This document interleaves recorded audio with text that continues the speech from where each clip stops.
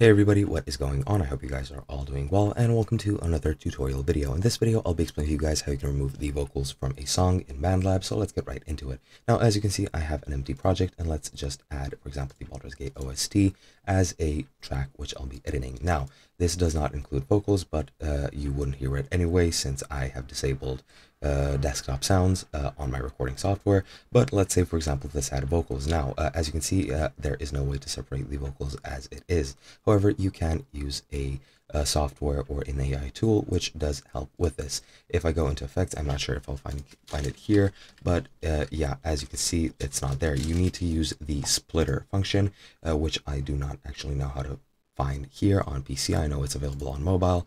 However, I'm not 100% sure where it would be here. Uh, but yeah, you can use the splitter and that will then split it into three or four tracks, depending on how many tracks there are. And for example, let me just make a mock-up of this by adding some tracks, for example, a drum machine, uh, a instrument, a sampler, and a voice. And this is what it will look like if you use the splitter function. Now, once you use it, all you have to do is click on voice and audio and just click control uh, or shift and delete or backspace and it'll delete that track. Once you delete that track, that will remove the actual voice. Keep in mind that AI is not, of course, perfect. Some of the audio from the instruments, drum machines, or the sampler might be uh, within that category since it might not recognize it as a voice or it might accidentally recognize it as a voice, but that is pretty much how you do it. Hope you guys enjoyed and I'll be seeing you guys in another video.